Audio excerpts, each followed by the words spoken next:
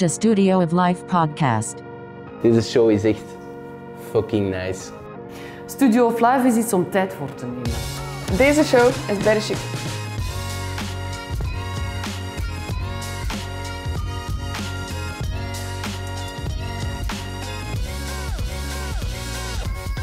Welkom op eh, het allereerste Corporate Wellbeing Festival van België, genaamd Workbeats. Workbeats gelooft in een holistische kijk voor gezonde, positieve en een inspirerende werkplek. Het draait allemaal om welzijn. Gelukkige medewerkers stuwen uw organisatie vooruit. In samenwerking met Studio of Life, mezelf dus, delen we heel wat gemeenschappelijk DNA. Studio of Life staat voor het verhaal achter de mens om zo meer inlevingsvermogen te creëren in een leefwereld, om zo meer verbinding en nuance tot stand te brengen. Vandaag spreken we uh, met Anne Catelin, CEO van FitArgon, en uh, Julien de Wit, de man met veel uh, hoedjes op, onder andere auteur, schrijver, um, columnist ook. Is ook heel hard bezig met communicatie. En vandaag gaan we het dan ook hebben over Gen Z en de meerwaarde van het menselijk kapitaal. Ik start bij u aan, ja, bij jou aan liever. Um, je bent CEO van FitArgon, een organisatie die ook de belangen behartigt van onze HR-dienstverleners. Mm -hmm. Welke uitdaging heb je persoonlijk meegemaakt dat je ook zo gepassioneerd, jezelf zo gepassioneerd inzet op een vlotte arbeidsbemiddeling? Goh, um, dat is een, uh, een hele mooie vraag. Dus nu sowieso, um, ik, uh, ik moet zeggen dat Federgon spontaan eigenlijk een, ja, als beroepsfederatie heel erg bezig is met uh, uh, juridische zaken, met lobby enzovoort.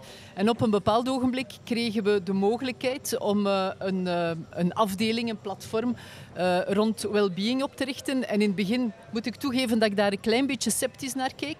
Maar ondertussen ben ik helemaal mee en geloof ik echt in het concept van well-being.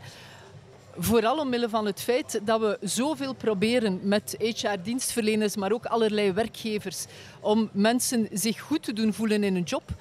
En uiteindelijk is die well-being, dat welbevinden, is daar zo cruciaal, is echt werkelijk de, ja, de, de, de well-being factor vind ik zo belangrijk dat we, dat we daar meer moeten op inzetten. En wij hebben samen met onze leden, die daar veel meer van weten dan ik, um, het zijn hele wijze en professionele mensen, uh, hebben ook nagedacht over wat is well-being eigenlijk. En, um, want ja, dat is een beetje een vaag begrip natuurlijk. En die well-being, ja, dat is, wij zien dat als het samengaan van bijvoorbeeld financiële well-being. Je moet, je moet zorgen dat je geen geldzorgen hebt. Um, digitale well-being. Je moet zorgen dat je, dat je mee bent met de evolutie. Sociale, je moet een omgeving hebben enzovoort. Dus we hebben eigenlijk verschillende soorten well-being geïdentificeerd. En als die allemaal goed zitten, dan zit iemand goed in zijn vel. En dan kan die goed werken. En dan, kan die, dan is die ook creatief en productief. En dat is eigenlijk het verhaal dat we willen brengen. Um, doe beroep op de hulp van onze HR-dienstverleners die gespecialiseerd zijn in well-being begeleiding, zodanig dat het eigenlijk een, een win-win is, zowel voor bedrijven, maar zeker ook voor de individuen, voor de medewerkers, dat die zich goed voelen en dat die eigenlijk uh, ja, de beste versie van zichzelf kunnen zijn, ook binnen het bedrijf waar dat ze werken. En dat is eigenlijk mijn droom. Oké, ik ben ook benieuwd. In het begin van je zin heb je ook gezegd of uh, aangegeven dat je sceptisch stond tegenover het idee. Vertel eens van waar de, het scepticisme? Wel, dat komt voort uit het feit dat ik, dat ik eigenlijk zelf jurist ben en dat wij binnen een beroepsfederatie eigenlijk vooral uh, bezig zijn met zaken rond lobby en juridische teksten en dergelijke. En uh, ik heb dat echt leren kennen, leren ontdekken. En dat was, uh, ja, ik ben, ik ben echt daardoor gepassioneerd, want dat is echt het sluitstuk um, om ervoor te zorgen dat de arbeidsmarkt goed draait. Um, we zien ook dat we daar eigenlijk niet zo heel goed bezig zijn, want we zitten momenteel met meer dan 500.000 uh, langdurig zieken, langdurig arbeidsongeschikten. Als we niet opletten, dan gaan we richting 600.000. Dus dat is iets wat ik niet begrijp, dat we toch echt moeten aan werken. En daarvoor vind ik well-being uh, het perfecte concept. En well-being, dat is natuurlijk ja, de, de som van alles wat ik daarnet zei. Maar tegelijk is ook de begeleiding rond well-being belangrijk. Het, uh, de mogelijkheid om daar preventief mee om te gaan. Ik roep eigenlijk elke werkgever op om, om daarover na te denken en niet te wachten tot mensen uitvallen, maar in feite erop te anticiperen en te kijken van wat kan ik hier preventief doen en hoe kan ik de vinger aan de pols houden dat mijn mensen echt wel gelukkig zijn en zich goed voelen op in een job. En ehm, als we dat kunnen bereiken, ja, dan hebben we veel meer, veel meer activiteit, dan hebben we veel minder kosten aan uitkeringen. Dus en dan zijn de mensen gewoon ook gelukkiger, want eh, het is ook mijn persoonlijke overtuiging dat mensen die werken, die hebben eh, een venster op de wereld. En die, die, die hebben daardoor ook een sociaal netwerk enzovoort. Dus, en die, zijn eigenlijk, die, die, zitten, die zitten beter in een vel. En daardoor gaan die dan ook beter presteren in een privéleven, maar natuurlijk ook in een professioneel leven. Dus dat is eigenlijk um, voor mij de essentie rond well-being. Het is werkelijk het sluitstuk rond heel wat zaken die we vandaag al doen. En wanneer in de schakels ook in gang zit, wanneer je effectief ook voor jezelf hebt uitgemaakt aan dat je zegt van ja, kijk, dit is iets waar ik echt voor wil gaan. Dit is echt mijn passie. Heb je een uitdaging meegemaakt of hoe is dat tot stand gekomen? Wel, persoonlijk niet zo onmiddellijk, maar ik heb uh, ook de fakkel overgenomen nog, um, nog maar een uh, jaar of drie, vier geleden. En toen is eigenlijk ja, die, die, dat platform Wellbeing ook gegroeid bij ons. En um, ik denk ja, dat, um, dat ik wel de, de ruimte gelaten heb voor dat platform om ook te groeien. Dus want onze andere activiteiten, allee, Federgon is vooral gekend van bijvoorbeeld uitzendarbeid en werving en selectie enzovoort. Maar we hebben echt ja, meer op het menselijke gaan werken. Dat is ook onze rol natuurlijk, want we zijn de federatie van alles wat met uh, de mens te maken heeft, de mens op het werk te maken heeft. Dus we hebben dat ook laten organisch groeien en vooral ook beroep gedaan op de beste krachten uit de sector om ons daarin te begeleiden. Want ik ben nu plots totaal geen expert in well-being, maar uh, ik vind het wel fantastisch dat we die, dat platform mee kunnen hosten en daar verder mee aan de slag te gaan.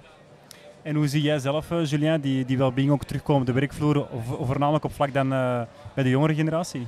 Goh, ik, ik vind het altijd heel grappig als mensen dat branden als zoiets van de jonge generatie.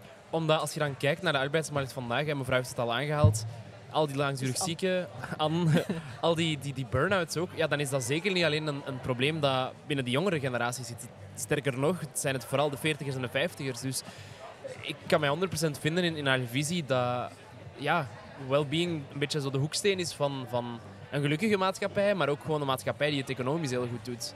Dus um, ja, ik uh, kan me daar volledig bij aansluiten. Ja, ik wil even nuanceren dat ik, dat ik niet specifiek de nadruk leg op de jongeren, maar dat ik gewoon eigenlijk uw kijk ook wat weet, gezien dat jij ook heel veel ervaring hebt gehad, ook als voorzitter van uh, een jongerenvereniging. Vandaar ik ook even uw medekijk uh, er wel over hebben. Andy, je bent zelf ook, je, je gelooft ook sterk in het menselijk kapitaal. Hoe zie je dat terugkomen en waarom is dat zo'n sterke asset of een belangrijke waarde in een onderneming? Wel omdat um, dat we in België eigenlijk um, geen grondstoffen hebben. Er, onze bodem is niet zo rijk aan mineralen enzovoort. Dus onze enige grondstof die wij hebben is eigenlijk ons menselijk kapitaal. Uh, daarom zijn we ook heel sterk in diensten, maar ook in, in een stuk van industrie, in innovatie en dergelijke meer. En ja, dat hangt natuurlijk onlosmakelijk samen met de kwaliteit van de mensen die we hebben. We hebben het geluk al jaren om een goed opgeleide bevolking te hebben. Um, dus ja, dan, dan, dan komt het erop aan om die skills die we hier allemaal hebben, om die ten volle in te zetten. Um, onze arbeid is niet goedkoop. Dat hoeft ook niet, omdat we juist hooggeschoold en, en tegelijk ja, um, moeten we zorgen dat we de mensen allemaal of elke medewerker op de juiste plaats zetten. Dat is de grote uitdaging. En als die op de juiste plaats zit, dan voelt hij ook de uitdaging om mee te werken aan een hoger doel. En dat komt natuurlijk de, de, de, het bedrijf of de organisatie waar die werkt ten goede.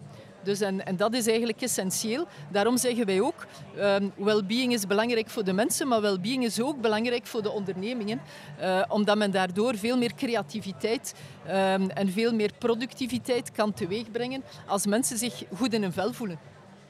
En kan je me één voorbeeld geven van Anno, die zelf ook toepast, die ideologie dat je ook zelf verspreidt binnen Fitargon zelf?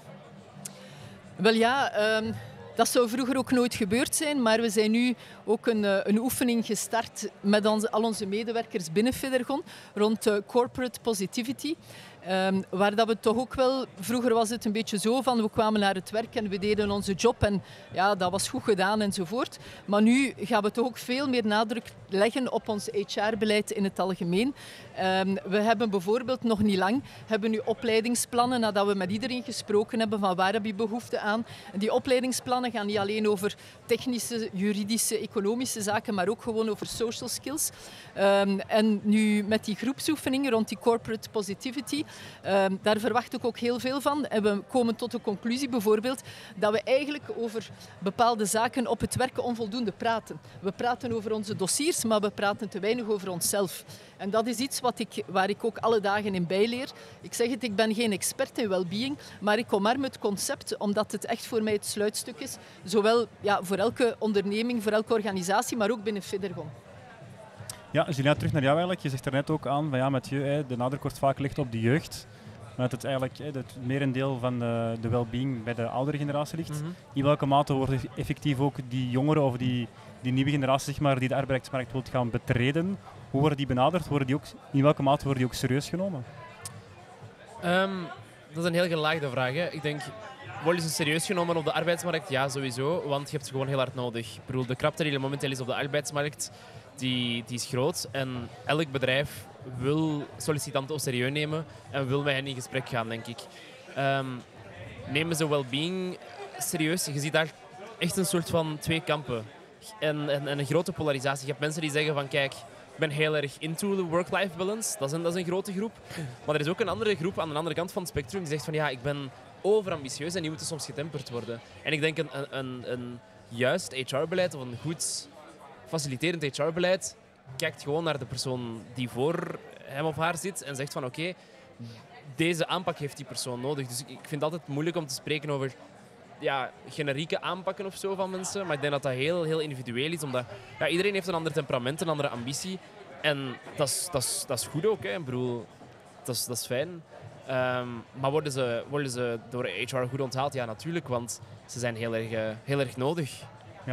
Absoluut. Maar Je- ze- ze- als ik even mag aanvullen, Ja, zelfs dan nog, ehm allee, het, het, ehm, wij hebben het, het concept ook van de levensloopbaan.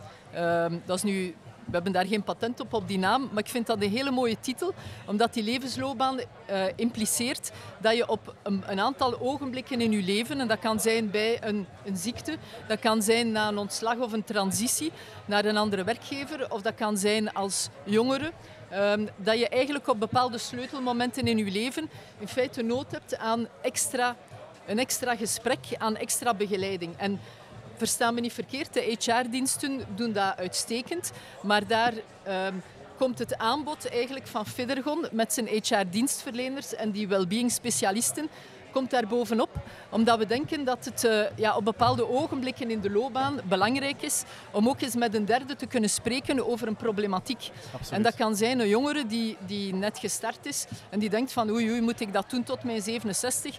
Of dat kan ook zijn een, ehm, een, ehm, 55, 60-plusser die denkt van ja, ik heb wel mooie dingen kunnen realiseren, nu wil ik iets teruggeven aan de maatschappij. Dus daar bieden wij dan dat klankbord voor om, eh, om in gesprek te gaan en eens dieper na te denken van wat wil ik doen, waar krijg ik energie van? En, en dat, allee, daar, daar vind ik dat wij naast de HR-diensten ook een hele mooie rol kunnen spelen. Ja, volledig akkoord. En ik heb zelf ook in mijn eigen loopbaan een aantal een hobbelig parcours gehad en ook al wat uitdagingen ervaren. Daarom ook mijn vraag terug naar jou, Julien. Ehm, je bent zelf ook freelancer, net zoals mezelf. Mm, Hoe heb je, die, hoe heb je zelf, want je bent, ik zie je als ook als een soort van spreekbuis voor ook de jongere generatie, omdat Ja. je zelf ook eh, voorzitter bent geweest van de... ehm, Vlaamse Vereniging van Studenten. Dankjewel. En dan vraag ik me ook af van ja, hoe heb jij je loopbaan tot dusver eigenlijk ervaren en waarom heb je ook voor dat pad van eh, als freelancer dan gekozen? Dat is, dat is momenteel de keuze. Puur omdat ik ervan uitga van ik wil van zoveel mogelijk proeven om dan te kijken van oké, dit ligt mij of dit ligt mij niet. En eh, ik heb het ook altijd wel gedaan ehm, ja, bij bedrijven. Dus zeggen van hey, kan ik, kan ik werken bij jullie, maar dan in de hoedanigheid van freelancer. Dus ja, het is voor mij een beetje de, de, het evenwicht geweest altijd tussen voldoende vrijheid en voldoende vastheid ook. En ik denk dat dat een, evenwicht is waar ik mij best prettig bij voel. Ja. Ehm, maar ik, ik, zou gewoon iedereen aanmoedigen om een beetje te experimenteren, een beetje te kijken wat, wat u ligt. Eh, omdat dat uiteindelijk een beetje de, de, de ruggengraat is van well-being. En ook voldoende stilstaan bij wat wilt je in het leven als werknemer, als, als, als persoon gewoon. En ik denk wel dat vandaag de dag HR-diensten zich daar terdege van bewust zijn. En dat ze ook wel proberen mee, eh, mee na te denken met die mensen. En dat vind ik wel, wel heel mooi als dat kan gebeuren. Eh, ik, ik denk dat bedrijven meer en meer een soort van coachende rol opnemen ook tegenwoordig. Of moeten opnemen. Dat dat wel wordt verwacht. En als dat kan gebeuren is dat altijd heel positief. Klopt, ja. Ik heb zelf ook ervaren van dat ik ook de projectie maak naar jou. Is dat ik mijn eigen te weinig voldoende ondersteund voel in een bedrijfscontext.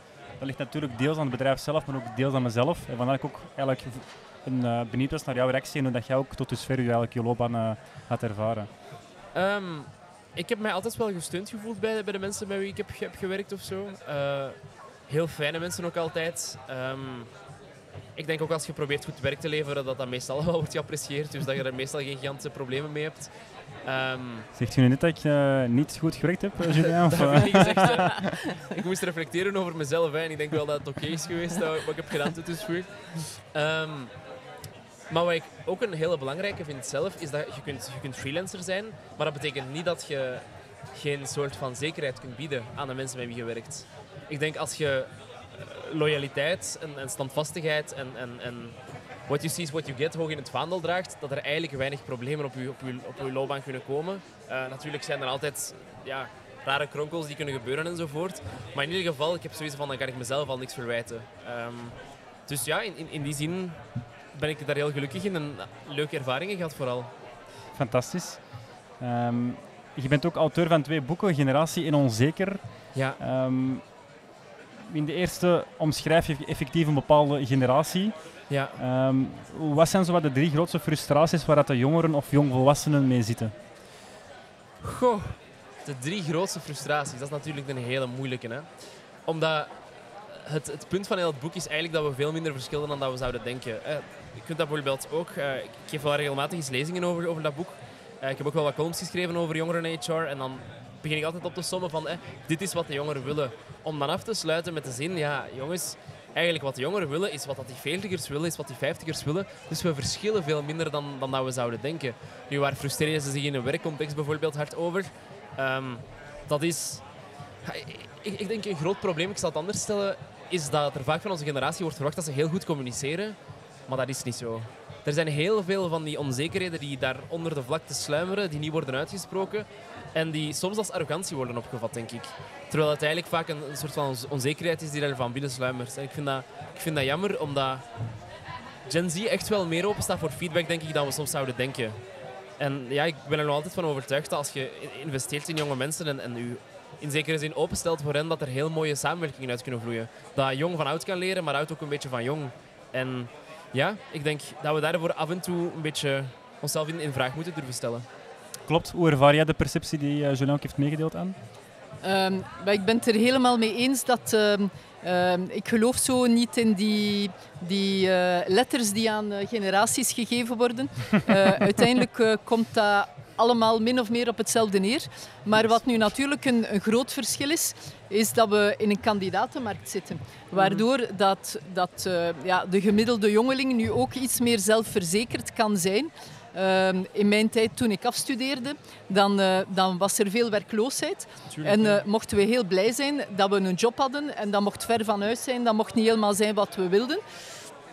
Ik denk ook dat er ondertussen naar de iets jongere generatie of, of generaties ook veel veranderd is, omdat er net zoveel um, tools zijn en middelen om te weten, om te ontdekken wat je wil, dat de, de avontuurfactor die bij mijn generatie nog bestond, van ja, we gaan wel zien wat het wordt en we gaan dat maar nemen, want we moeten een job hebben, dat is een beetje, een beetje weg. En men, mm. heeft, men kan eigenlijk heel goed uh, onderzoeken welke job men wil doen en, uh, en wat, waaraan die, dat die moet beantwoorden. Ja. Dus dat komt, denk ik, doordat we in een veel matuurdere arbeidsmarkt zitten, in een matuurdere HR-dienstverleners, matuurdere HR-diensten in bedrijven. Waardoor dat, er, ja, dat alles ook veel duidelijker beschreven wordt, wat dat er verwacht wordt, wat dat je moet doen. En ja, dat, dat, dat leidt ertoe dat, dat de jongeren precies weten waarvoor ze bij u komen. Dat ze dat ook gaan zeggen, van ik kom om dat en dat en dat te doen. En dat stond niet in de functiebeschrijving enzovoort. Allee, dus op zich vind ik dat wel een goede evolutie. Maar ik denk dat fundamenteel uh, iedereen naar hetzelfde op zoek is. En dat is die noodzakelijke erkenning um, in, binnen een bedrijf en, en, en het, het plezier om te werken en zich uit te leven en aan iets bij te dragen. Dat is van alle generaties. Ja, er is ook heel veel ruimte om te vergelijken natuurlijk. Hè. Um, als ik vandaag ergens ga werken, dan heb ik op LinkedIn zo 100, 200 andere jobs die mij ook wel iets kunnen zeggen. En misschien worden die wel beter betaald, misschien uh, hebben ze daar meer leuke voordelen enzovoort. Dus je ziet ook wel een soort van opbod, vind ik, in de arbeidsmarkt van ja, maar kom maar bij ons, want wij hebben een yogales op vrijdagmiddag en een fruitwand elke maand. En dat gaat heel hard voorbij aan wat er echt belangrijk is wanneer je een job kiest, namelijk gaat je Ja. daar gelukkig zijn. Absoluut. Past dat bedrijf bij u? Past die job bij u? Kunt je je daar ethisch in vinden enzovoort? Dus ehm, ja, ik denk ook dat de jobkeuze er niet altijd heel gemakkelijk op is geworden. We weten sneller in welke richting dat we zitten. Maar binnen die richting zijn er heel veel opties en dat zorgt wel soms voor stress. Maar als, als ik nog ehm, eventjes mag tussenkomen, dus ik, ehm, allee, ik herken dat verhaal helemaal. En ehm, allee, ik wil toch tegelijk ook benadrukken dat wat wij bij Federgon bedoelen met well-being en, en wat onze leden bedoelen, ehm, gaat dus echt om dat werkgeluk en, de, en het goed voelen in de job.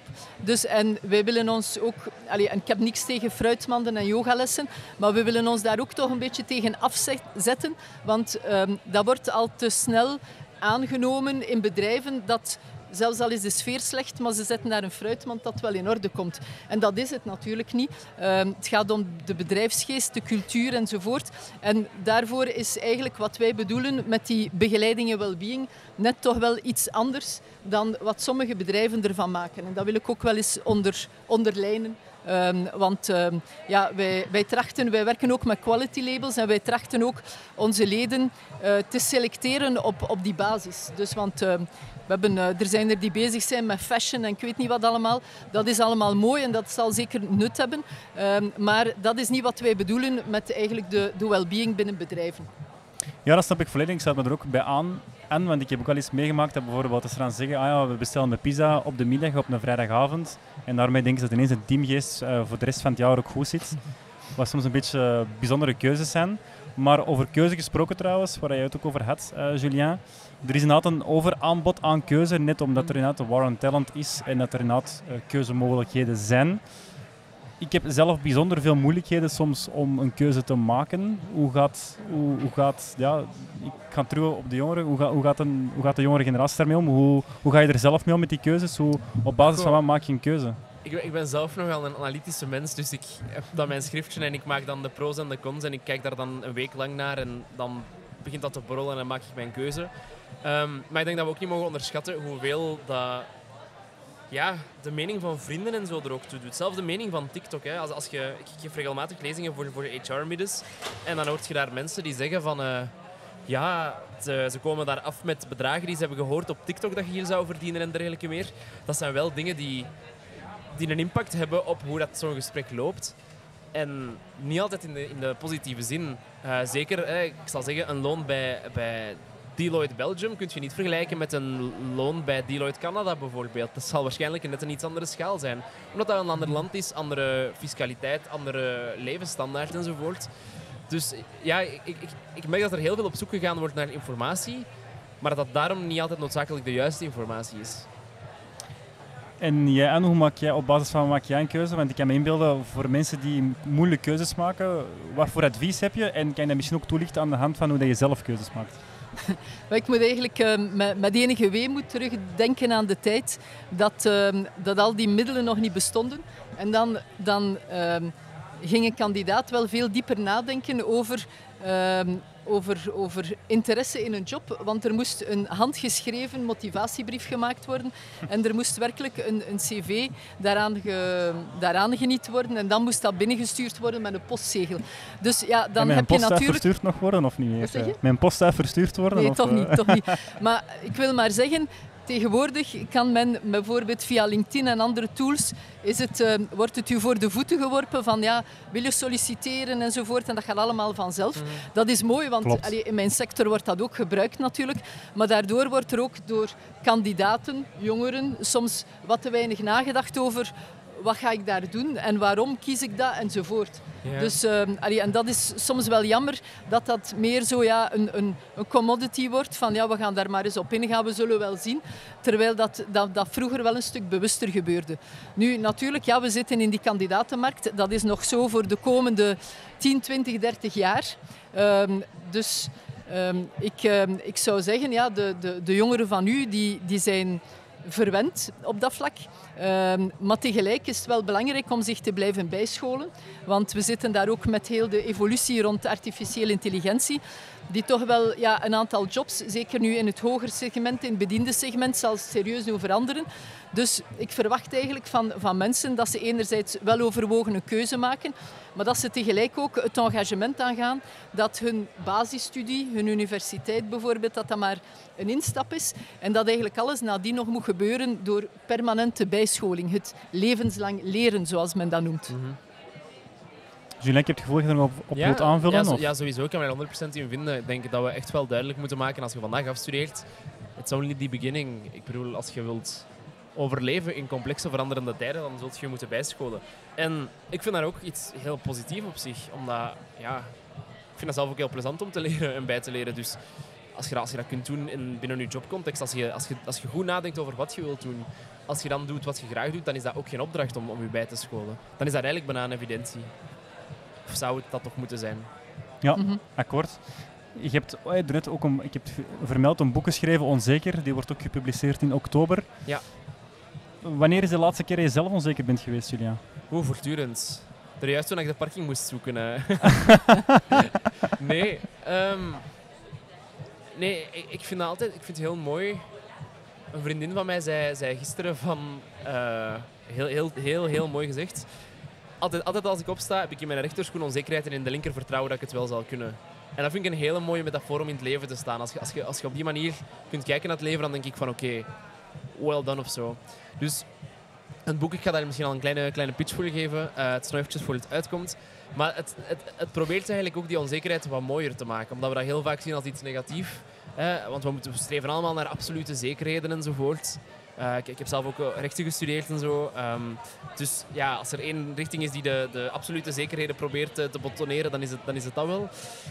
En je merkt eigenlijk dat er heel weinig van die absolute zekerheden zijn in de wereld. Het is eigenlijk akkoord, een, een job als werknemer bijvoorbeeld heeft meer zekerheid dan als zelfstandige. Maar then again, ben je ook nooit 100% zeker van, van je leven. Eh, of van je, van je absoluut job. zo. Hij is zo. Ja. En je ja, merkt gewoon dat die wereld heel snel rondom je heen verandert. En het boek probeert eigenlijk op zoek te gaan naar oké, hoe gaan we nu om met die veranderingen? Hoe, hoe geven we mensen de tools om zich goed te voelen midden in die on- onzekerheid ook ergens? Dus eh, het was een, een huzarenstukje. Wanneer kunnen we het boek bestellen? In oktober? Oktober, ja, eind oktober. 24 oktober komt het uit. Dus eh, Oké, kijk er naar uit. perfect. Nu- En voor jou nu- ook, ik wil nog even... Wanneer Nee, is de laatste keer dat jij met knik in de knie hebt gestaan? eh?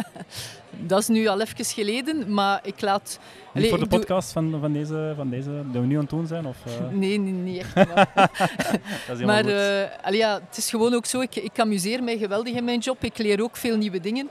En, ehm, en ja, oké, dat is ehm, het ene lukt al beter dan het andere. En, ehm, en dat is ook wel de juiste attitude. Want als ik dikwijls ook weer, en ik wil zeker niet zeggen ouderen, jongeren, maar bij jongeren met al de TikTok-filmpjes en al de zaken die op social media verschijnen, denk ik dat een deel van de onzekerheid ook teweeggebracht wordt doordat, doordat daar zo alleen maar perfecte dingen op staan.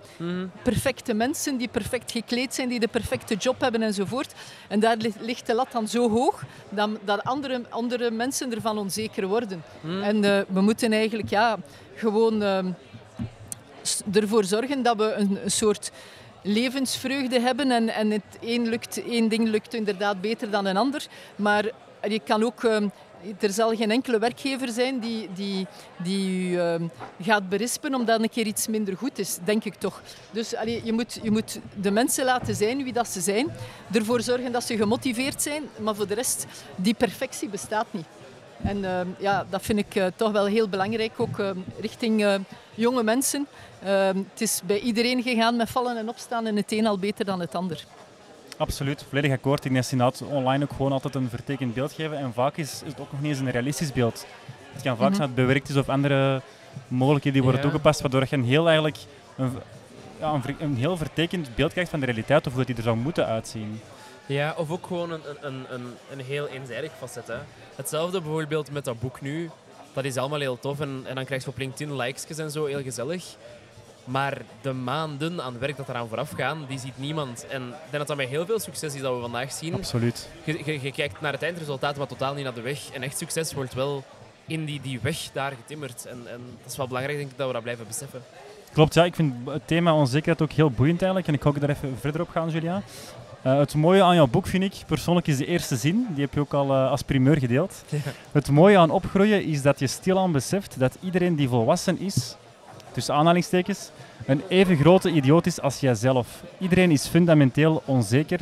Sommigen doen gewoon beter alsof.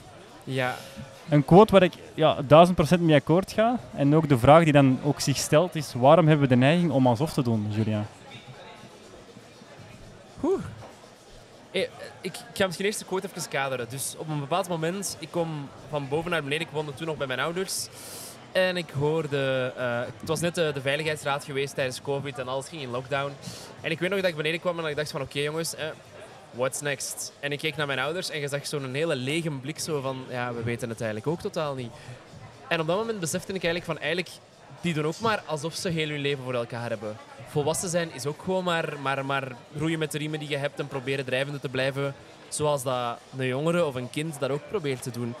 Alleen zit je natuurlijk wel met het feit dat we vandaag, hoe ouder dat je wordt, hoe meer verantwoordelijkheid dat je opneemt. En ik kan mij ook bijvoorbeeld voorstellen dat eh Anne als, als CEO niet al haar onzekerheden zomaar op tafel kan spreiden, bij wijze van spreken, omdat er nu eenmaal wordt verwacht dat bepaalde mensen ook een soort van leidende rol nemen in, in, in de maatschappij of in een organisatie. Dat is hetzelfde met ouders, die naar hun kinderen natuurlijk ook niet al hun onzekerheden op tafel kunnen gooien. Ja, want dan, dan creëert je geen veilige omgeving voor die kinderen. Dus waarom doen we alsof? Ik denk dat dat een belangrijk iets is. Het feit dat we verantwoordelijkheid hebben soms. Soms zie je dat er ook wel wat ego bij komt kijken. Omdat het beter klinkt en beter aanvoelt als je kunt doen alsof alles eh, mooi op, eh, op een rijtje is bij u. Hoe ervaart jij die quote? Ehm, wel, ja, oké. Ik, ik, ehm, ik eh, denk ook dat iedereen wel een factor onzekerheid heeft. Maar ehm, daarmee speel ik geen rol. Ik probeer dat geen overheersende invloed op mijn persoon te laten hebben. Ehm, en dat kan ik ook iedereen aanbevelen. Dus, want, ehm, ja, inderdaad, je hebt, eh, er zijn dingen die je nog nooit gedaan hebt, waar je toch wel een zekere stress voor hebt of wat je denkt van hoe moet ik dit, dit hier aanpakken. Maar ik probeer mezelf daarvan af te schermen dat dat, dat dat de overhand neemt op mezelf. En dat meen ik ook, en dat is niet alleen de rol als CEO, maar ook in mijn privéleven enzovoort, vind ik dat heel belangrijk om dat een stuk te kunnen kaderen en, ehm, en er ook van overtuigd te zijn dat, ja, dat je niet minder bent dan anderen, dat je, dat, dat je een aantal zaken ook eh, even goed kunt, dat je misschien meer ervaring hebt. En ik, ehm, ik duw dat een beetje af en ik ga ervoor. En dan zien we wel wat dat uitkomen. Ja, want zo het idee van iedereen doet toch maar alsof, is een heel enge gedachte bij momenten, maar ook een heel mooie gedachte. Want dat betekent dus ook dat iedereen uiteindelijk evenwaardig is en, en, en dat gewoon maar kunt proberen en, en zien waar het terecht komt. En dat vind ik een hele leuke manier om in het leven te staan. Absoluut, en zo wil ik ook graag afsluiten dat het inderdaad wel mooi is dat je het ook kunt benoemen of dat je kunt kaderen of kunt nuanceren. Dat je ook weet van oké, ik ben niet de alwetende god die het pad al tien keer heeft afgelegd, maar dat ook maar probeert en je best doet en ook zo goed mogelijk voorbereidt. Dat is wel een belangrijke nuance ook. Op het event dat zich gaat plaatsvinden dat je nog nooit niet hebt gedaan. Mhm, Ja, de Dus, last die eh, van je schouders valt ook. Hè. Want stel je voor dat je altijd op weg moet zijn naar de perfectie. Poeh. Ik eh, denk dat dat het recept is om eronder door te gaan. Dat denk ik ook. Ja. Sommige mensen streven er wel naar, maar eh, ze zullen het nooit niet bereiken, denk ik. Dat is, dat is een mooi streven, maar, maar daaraan zie je ook dat er ehm, dat veel ehm, ja, perfectionisten precies de mensen zijn die uitvallen. Dus ehm, ik ga me daar niet aan bezondigen, ik doe mijn best en eh, daar, dat vind ik voldoende. Mooi, mooi afsluiter. Ik wil jullie alle twee danken, Anne en Julien, voor eh, jullie feedback en eh, jullie input. En dan zou ik zeggen, geniet nog van het festival. Dankjewel. Heel graag gedaan, het was een leuke babbel.